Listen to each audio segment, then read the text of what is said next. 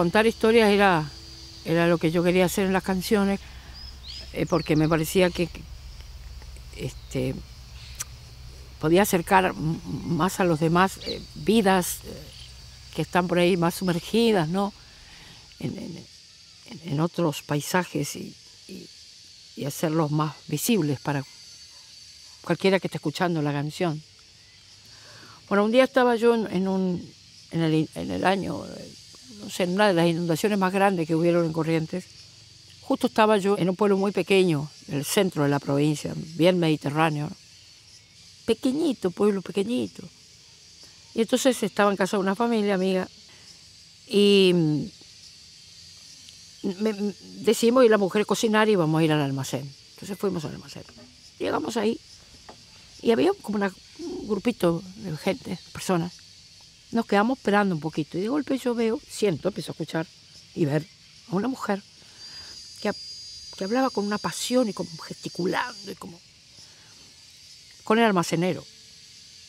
Y le contaba cómo habían huido la crecida. Y le decía cosas tan fuertes, tan conmovedoras,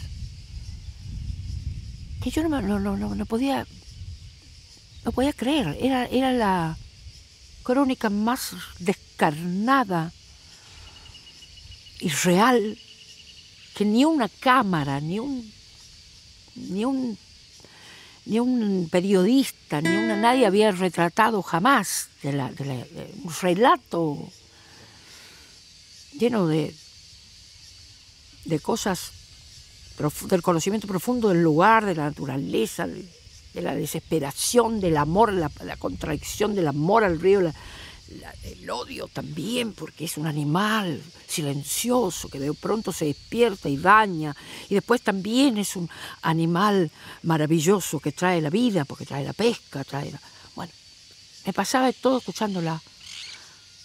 Eh, y, bueno, traté de reflejar eso, inclusive usando algunas palabras en guaraní, que me di cuenta que, que están en el lenguaje cotidiano de los correntinos y de los formoseños, de los misioneros allá, este, y que también están en mi propio lenguaje. ¿no? Pero ella las usó mucho en esa charla, por eso yo le presté mucha atención.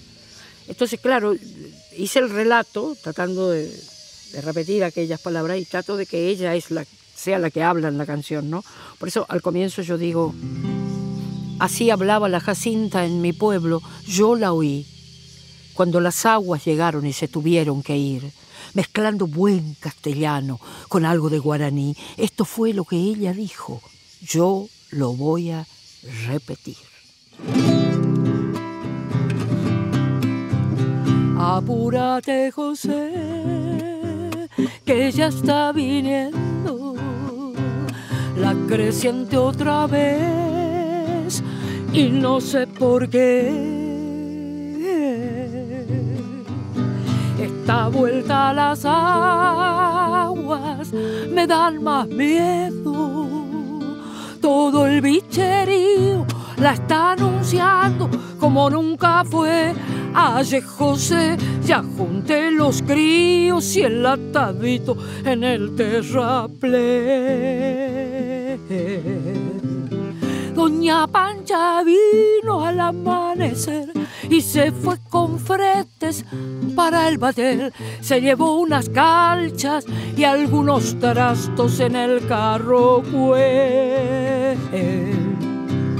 Ya pasó la eulogia en Maciel, orillando el pueblo por el tapé. Apúrate, digo, que llega el río y no sé por qué el silencio aturde asustándome nunca fue tan triste el atardecer.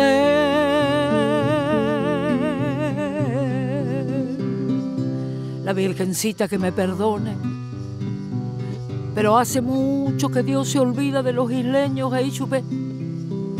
Ay, cómo sufre la gente pobre. Calamidad de manteles suelen pasar al pueblo. Allí, José te acordás la otra vez los que no pudieron alcanzar el camino, nadie más lo vio. La Evarista Luján, la de lo de Ríos, se quedó solita esperando a López en el rancho allá y no se supo más. Cada viernes santo suelo rezarle el rosario anga. Apúrate, digo, fíjate bien, el Jacinto Gómez pasó también. Fue de lo del chino para buscarle a la guaina de él.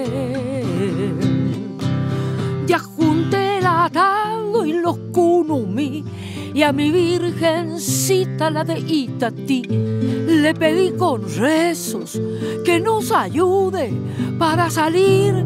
Hay que ir costeando el camino así.